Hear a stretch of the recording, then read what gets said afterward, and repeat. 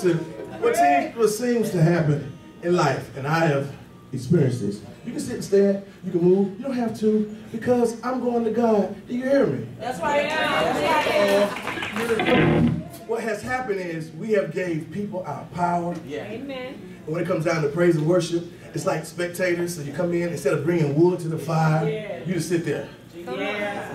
Now we ain't gonna sing my favorite song. Now when glory goes. Okay. And, you, and, and that's what happens. Yes. So if we come spectators, don't bring no wood, don't bring nothing, just come. Just, just, just set me on fire now. I, I, I, I need to I need to get the glory got to come in here. Glory got to come. So then we start, you know, we start doing stuff. That's right. Yeah. You ever been in church when you start doing stuff and you get tired? Yeah. Just doing stuff. Yeah. That's right. Then God, man, I used to do stuff That's right. Come on. in the church and thought I was pleasing God. Come on. And God said, I wasn't there. Yeah. Yeah. Lord, they was they was running and shouting. I wasn't there. Wow. That's it. now. Come on. That's it. now.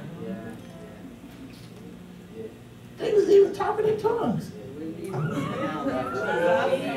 Come on now. Bring it to life.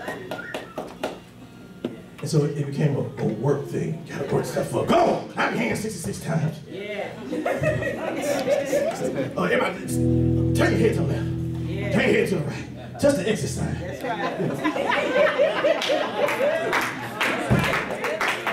And I was doing all that and no manifestation. Guess when manifestation started?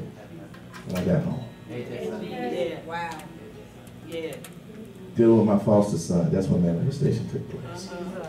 We got to get out of the church. We are the church. There's a world that's dark. The light of God is in us to the world.